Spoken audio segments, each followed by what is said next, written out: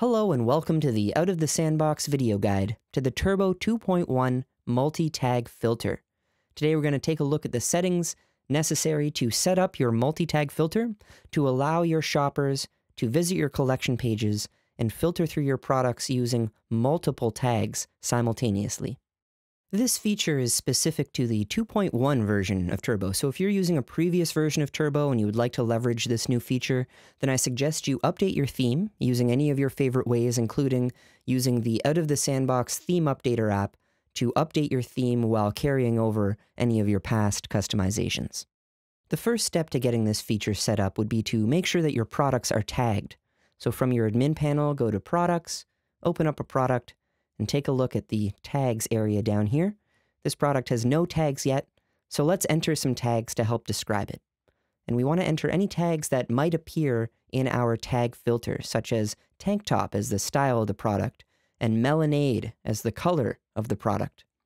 If we'd like to do a price range filter, we can enter a tag associated with the price range here as well.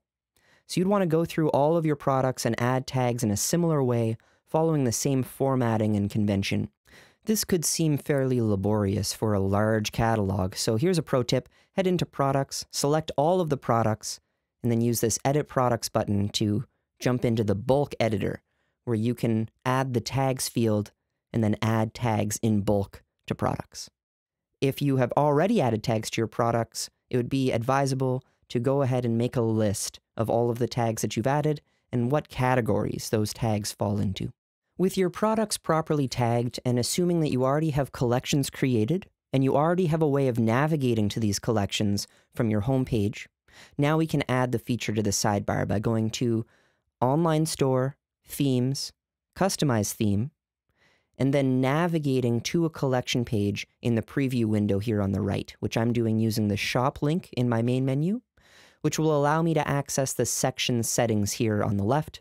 Down at the bottom, I can add content blocks to my sidebar, such as the tag filter. So here are the settings for the tag filter. You can enter the title, which would be the attribute that you're filtering by, and then you would enter the tags associated with that attribute. So you can enter all of the color tags here associated with any products across the shop, and there they are showing up in the sidebar already.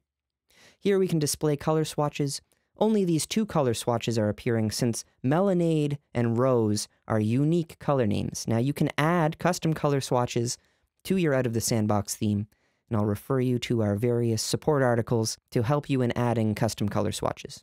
With our first tag filter added, let's make this a multi-tag filter by adding another tag filter. We'll enter the title here of Style, and I've got a list of all of the various styles of products on my shop, and I'm going to paste them in here separated by commas. Just the styles associated with the products appearing on this collection page will appear in the sidebar as you see. This tag filter has the display color swatch setting as well, and even though these aren't colors, you can use this setting creatively to display whatever type of image that you would like to show, like in this example here where we have these small icons beside each one of the styles. So as long as you've got a PNG image in your assets folder, that has a name that matches the tag that you've added to the product, then the image will appear beside the tag in the tag filter. Let's wrap it up by adding this price filter and adding in the tags associated with those price ranges, following the same formatting that I used when I was adding those tags to products. We can go ahead and save those changes to see that we now have a functioning multi-tag filter where we can filter by multiple attributes at a time. As with any of the content blocks that you'll find on the Shopify section settings interface, you can reorder and reposition the blocks by simply clicking and dragging them within the settings as you see here.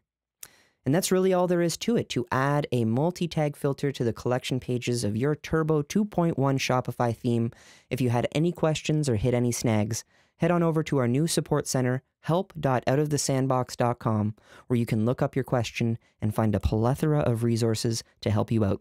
My name is Sean Campbell. Thank you for joining me for this video. Take care.